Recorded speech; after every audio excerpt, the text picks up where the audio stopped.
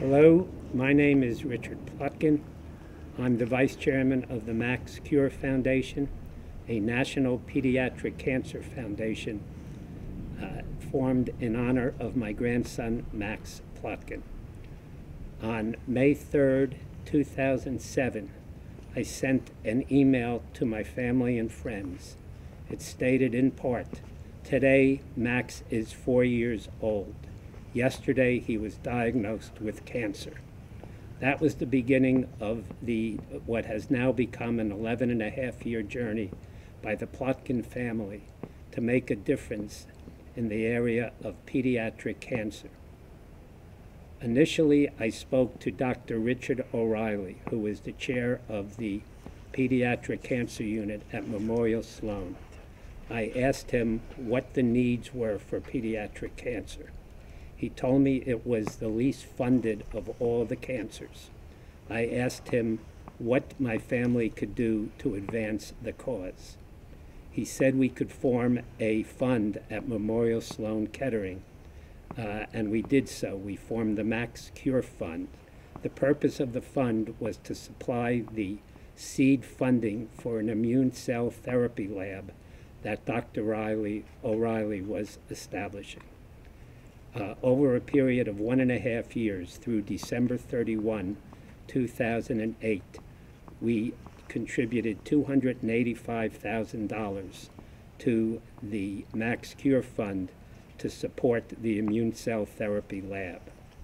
In December 2008, my family decided to form the Max Cure Foundation to expand uh, its reach in helping children with cancer and their families. Since that, that time, uh, we have developed missions in the area of funding research, family assistance, advocacy on behalf of uh, children with cancer and their families, as well as prevention. During that period of time, we also formed two programs, one known as Roar Beyond Barriers, which assists families battling cancer. The second is known as Dunk Your Kicks, where through a recycler we collect used sneakers that are ultimately sold overseas. And Max Cure Foundation receives $1 a pair for those sneakers. Uh, those monies, together with general contributions to Max Cure Foundation, go to satisfy our various missions. To date, the Max Cure Foundation has contributed over $1.6 million uh, to research.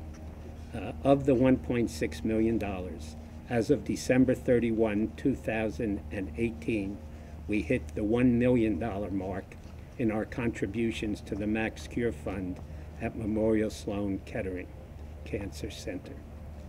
Uh, that, those funds went towards the seed funding for the immune cell therapy lab established by Dr. O'Reilly back in 2007.